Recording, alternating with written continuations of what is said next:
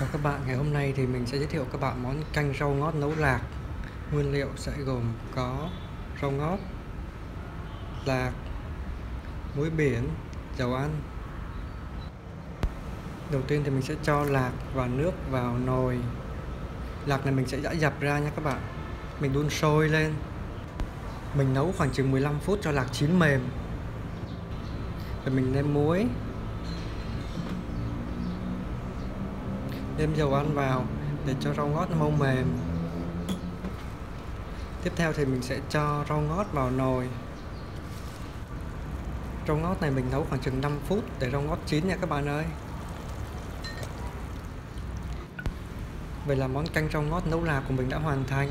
Rất là dễ đúng không các bạn? Có dịp các bạn sẽ thử món này nha.